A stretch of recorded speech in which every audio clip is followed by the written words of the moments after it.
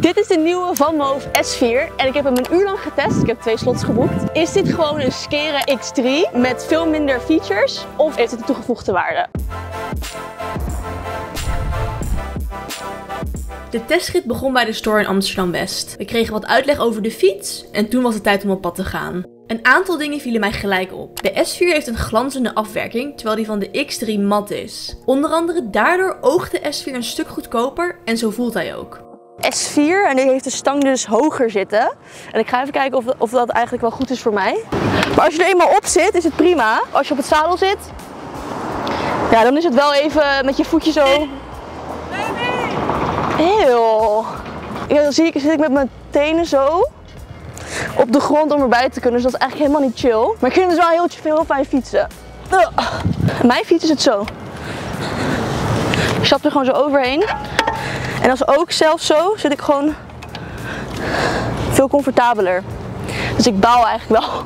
Deze fiets kost 2198 euro en de X3 kost bijvoorbeeld 2500 euro. De allernieuwste S5 is 3500 euro, dus een aanzienlijk verschil. Wat ik heel erg fijn vond aan deze fiets is wanneer je ermee ging fietsen was hij heel snel van 0 naar 25 of zelfs harder dan dat. En hij fietste heel erg soepel, dus dat is top. Wat deze fietsen ook hebben is dat ze twee versnellingen hebben in plaats van de e-shifter die, de X, die mijn X3 heeft. Wanneer hij gaat schakelen dat je zo dat heb je niet meer. Wat ik minder vond hieraan is ten eerste dat je de fiets gedurende je hele rit hoor je hem veel meer.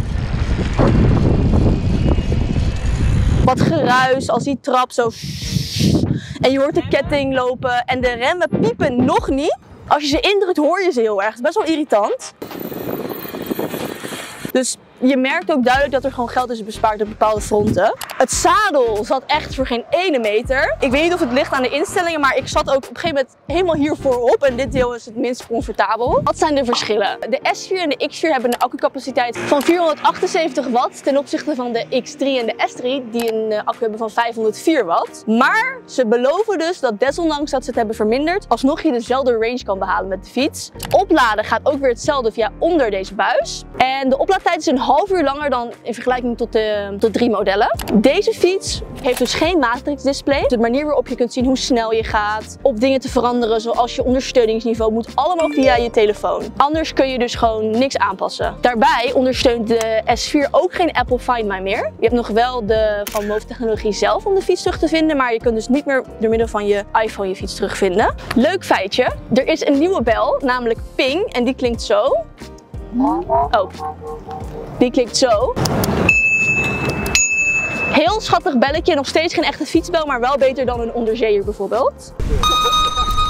De banden zijn bij de S4 dikker, waardoor je geen last meer zou hebben van over drempels gaan. Dat laatste klopt niet. Je voelt het nog steeds, maar inderdaad wel een stuk minder. Wat is er nou hetzelfde gebleven?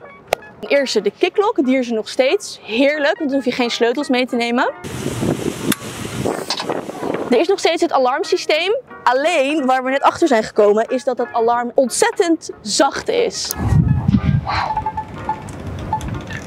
Het is heel zacht. Dit is echt het zachtste alarm dat Nog ik een ooit keer. heb gehoord.